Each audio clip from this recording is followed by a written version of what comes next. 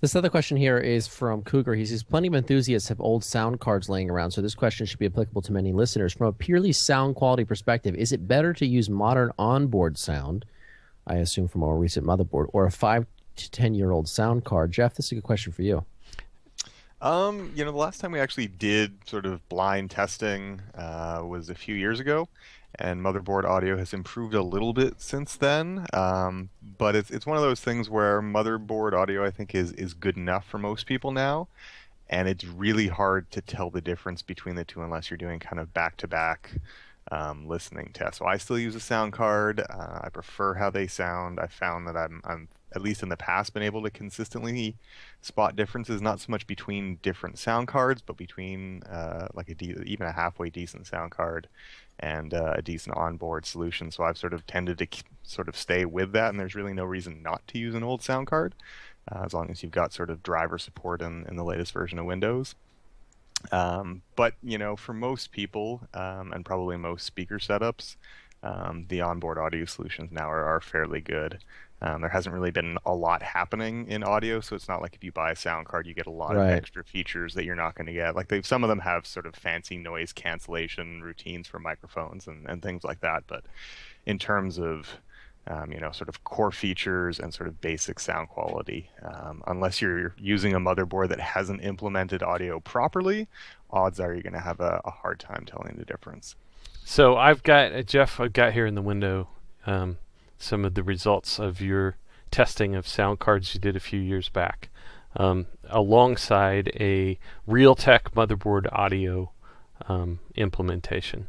And it looks like on this testing in particular, there wasn't a huge difference between the different solutions.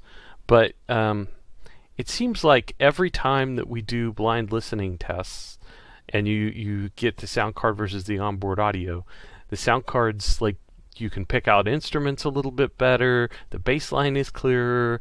Like things are a little bit better with with the sound card. I think that comes back to uh, it's just a better situation if you don't have to share the the circuit board with everything else that's on like a motherboard, right?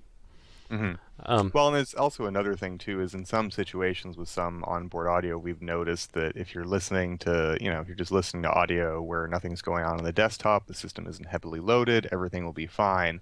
But if you, let's say, fire up a, a heavy graphics card load where you've got audio traces passing directly under the graphics card, uh, you can get sort of buzzing and interference, which we've encountered on a couple of motherboards. It's kind of a rare thing.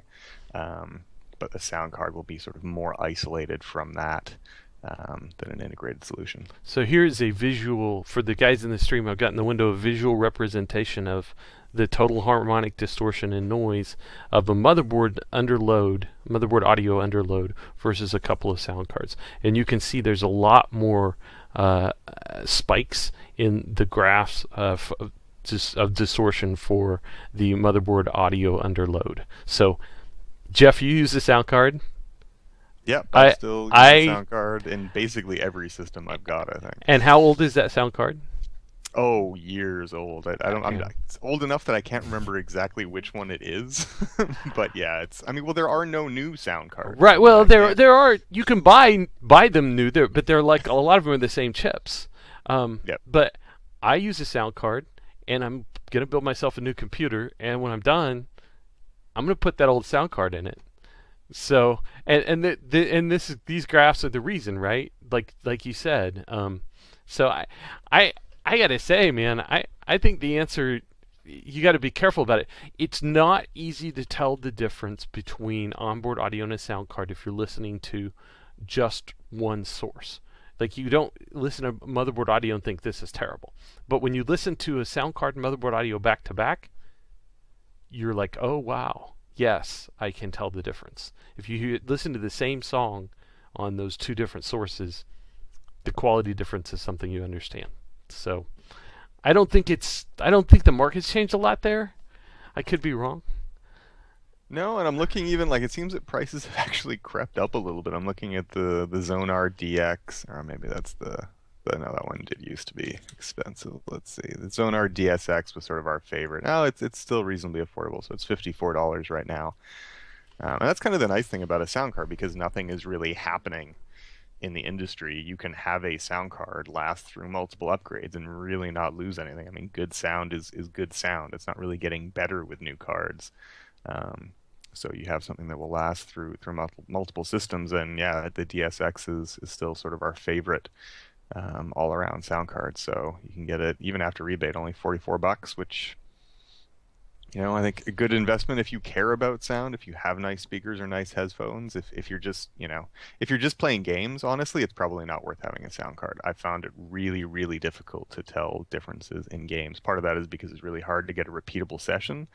Uh, and then part of it is there's just so much sound going on in, in games that it's it's hard to say what's better uh, than another. So, well, and the myth, the myth, almost a myth. I mean, there were some attempts, but the idea that your sound card would accelerate your gaming performance. Hey, that was true like 10 years ago. They tried, right? It never really stuck for very long. There was never like yeah. some great example of a product that, that where it like succeeded. Like Aureal tried and creative creative sued them and then creative like pretended like it was going to do acceleration and nobody really did it, and then Microsoft kind of crushed all that with with Windows with Vista, wasn't Battlefield it? games did Vista, it, yeah. yeah.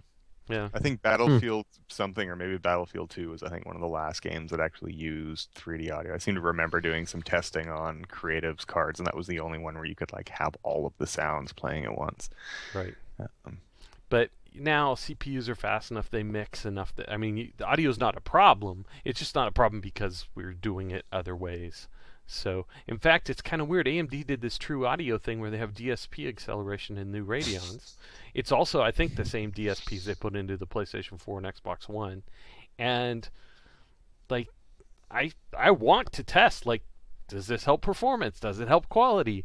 And every once in a while, ping AMD, and they're like, yeah, you know, there's a few things that use it, but there's just there's no example. only it's like Thief. I think it's the only game that I've seen that uses it. Yeah.